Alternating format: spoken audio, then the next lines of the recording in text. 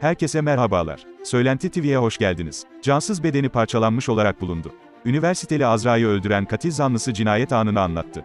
Antalya'da 5 gün önce kaybolan 21 yaşındaki Azra'nın cansız bedeni ormanlık alanda parçalara bölünmüş halde bulundu. Ekiplerin şüphelendiği emlakçı bininci bininci A ilk sorgusunda bana geldi, yemek yedikten sonra gitti ifadesinden sonra serbest bırakıldı. Soruşturmayı derinleştiren ekiplerin çapraz sorguya aldığı emlakçı suçunu itiraf ederek işlediği vahşi cinayeti, yemek yiyip alkol aldık, aramızda tartışma çıktı. Boğarak öldürdükten sonra banyoda parçalara ayırdım, sözleriyle anlattı. 28 Temmuz çarşamba günü evinden ayrılan Akdeniz Üniversitesi gazetecilik bölümü okuyan 21 yaşındaki Azra Gülendam Haytoğlu'ndan ailesi 5 gündür haber alamıyordu.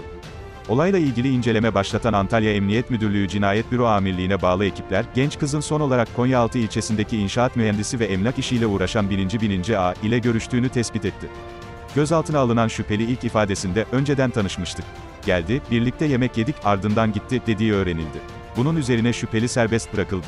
Soruşturmayı derinleştiren ekipler, MOBESE ve güvenlik kameralarını inceleme altına aldı.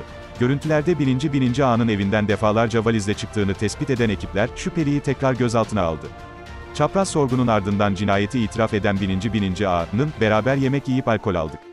Aramızda tartışma çıktı. Boğarak öldürdüm. Banyoya götürüp parçalara böldüm. Kepez ilçesi Varsak'taki ormanlık alana gömdüm, dediği öğrenildi. Cinayet itirafının ardından katil zanlısı, belirtilen adreste cesedin yerini gösterdi. Adrese giden ekipler, genç kızın cesedini parçalara bölünmüş halde buldu. Haytoğlu'nun cenazesi otopsi için Antalya Adli Tıp Kurumu morguna kaldırıldı. Cinayet zanlısı bininci bininci A'nın ise emniyetteki işlemleri sürüyor. Bir sonraki videoda görüşmek üzere. Hoşçakalın.